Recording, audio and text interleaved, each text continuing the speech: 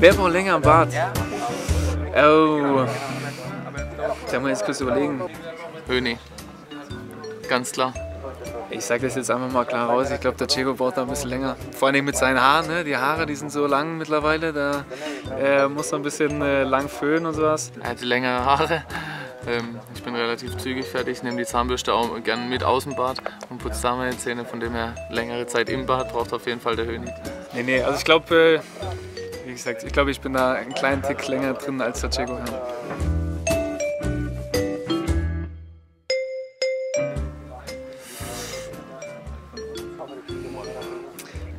Würde ich auch Höni sagen.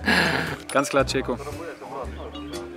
Äh, Ich bin sehr ordentlich, also ich habe alle meine Kleidungsstücke schön im Schrank reingelegt. Wir haben so eine, ja, einen Schreibtisch halt bei uns im Zimmer und der ist relativ viele Sachen von ihm blockiert und bei mir relativ wenig. Ich habe da schön meine elektrischen Geräte aufgebaut, meine Kabelsammlung und gleichzeitig äh, auch meinen Koffer. Deswegen äh, will ich das, den Punkt jetzt einfach mal an Checo geben.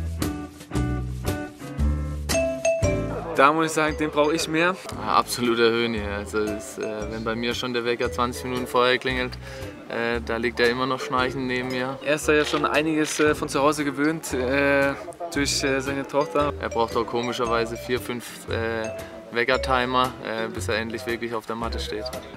Da brauche ich definitiv ein bisschen mehr Erholungsschlaf als er. Ja. Auf jeden Fall der Höhne.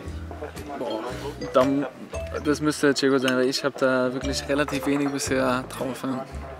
Ich meine, er bemüht sich zwar immer sehr Hochdeutsch zu reden, aber ab und zu fällt es ihm dann schon mal raus. Dadurch, dass ich das äh, immer von zu Hause mitbekomme, also wenn ich zu Hause bin, dann sagen mir, ach Gott, du hast einen Dialekt angenommen. Ich selbst merke das gar nicht so. Mir fällt es bei Chico auch nicht ein und, äh, auf und deswegen glaube ich, dass der Punkt leider an mich geht dann. Ich glaube, der Punkt geht an mich.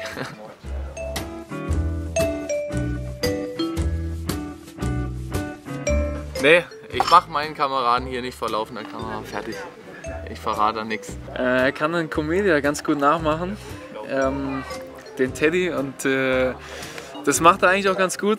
Irgendwann geht es einem natürlich ein bisschen auf die Nerven, aber sage ich ihm dann auch. Er ist ein sehr ist ein guter Junge, definitiv. Ähm, äh, sehr feiner Typ und ähm, von dem her geht mir bisher, aber wir sind ja noch ein paar Tage hier, noch nichts äh, auf den Geist.